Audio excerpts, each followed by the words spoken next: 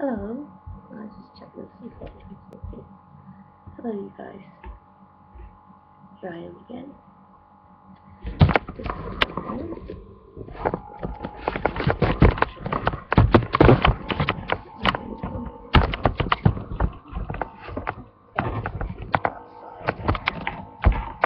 Anyway. Although I'm happy.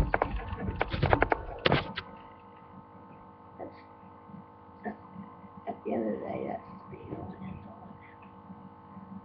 Why am I happy? Well, because I'm happy because I wake up and it's a new day and it's a beautiful day. Although we're expecting blizzards and snow again. Um, I'm happy because um, being blessed to be a grandmother again. I called up to tell my husband. Um, just trying to think.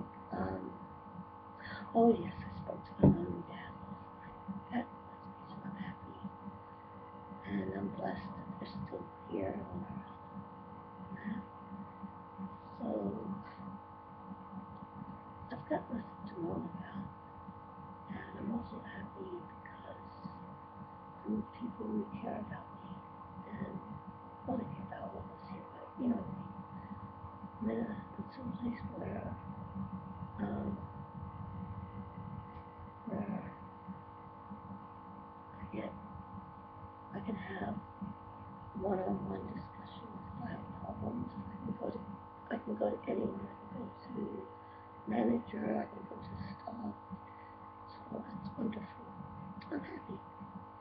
Anyway, basically just be thankful for have and enjoy each moment with those you love and not um not bear grudges because that makes you bitter. Because when you forgive someone what they've done to you, then that opens you up. Right? It makes you feel um see when you forgive someone you feel you don't have that burden to bear. You don't feel bitterness to them God loves them too. I even told my neighbor, I wrote to her and I told and I quoted scripture to let her know why I was forgiving her and to let her know that God loves her too. And um, so when I, without was received, it doesn't matter. The fact is I've done it. I wrote to her and I told her it wasn't, there was nothing embarrassing about it, nothing, um, nothing vindictive in it. It's basically, I forgive you and peace be unto you and yours. And there was nothing to suggest that I was going to have anything even plotted against them, which I don't. I think um, there's situations what I can gather is becoming diabolical, passing out new laws and everything. so, um, you know, he's there for them too. And um, although she denied him that day in court and everything, and, they, and she lost, and the barrister said about her, she had no right to be alive, had no right to exist, because my ancestor, you know, my ancestor would forgave her as well. So it's not only what I, I forgive her too. And that's only what is expected of us, but I do it because it's the right thing to do. Okay, gee, I lost my home. I'm forced, not living under the same roof with my husband at present. But he still visits me, we're still married, and I'll be seeing him again. And but I got to go to the doctor on Thursday, so he'll be with me. Um, I'm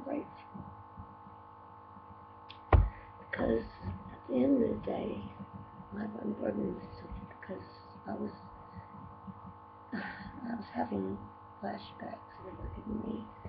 Um, you know, because I wasn't getting rest because of it. That's what happened and everything. And I had to unburden myself. And the fact that I needed to do it to move forward in my life. And I needed her to know, should I go into her, that I was forgiven. And who knows, maybe in the future, um, her or a member of your family will say they're sorry.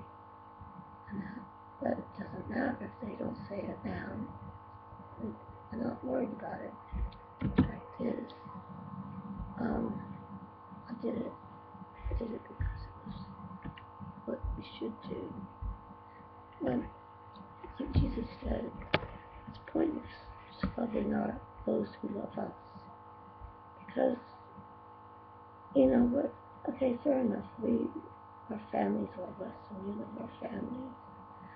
But what he's saying is that real love is love that can be extended to strangers and even to people who have done us wrong or some people we see them as our enemies. And the, the thing is, um,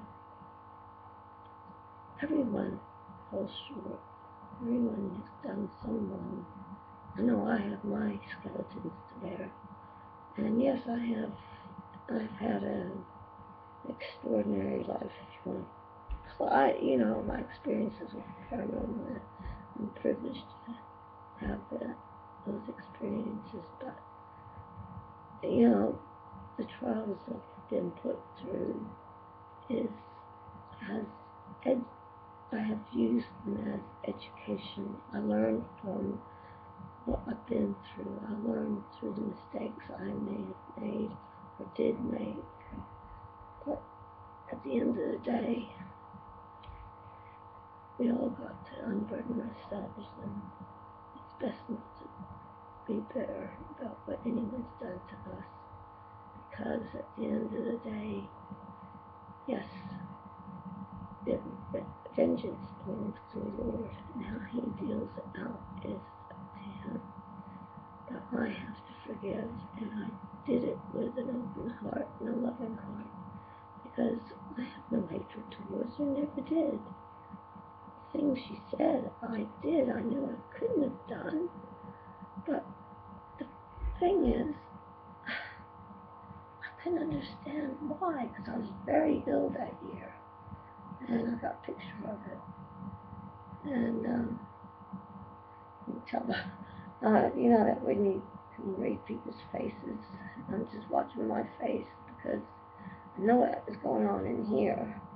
I didn't, I didn't realize how much my expressions, on my face were. Um,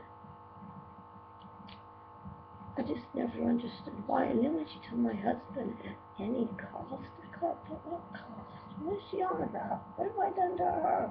And I never could understand what it was I'd done. I thought, well, okay. She seems to feel I've wronged her in some way. But I'm the one that's lost my home. But by telling her I forgive her. If I have her, I hope she forgives me. That's all I can do. That's all anyone can do.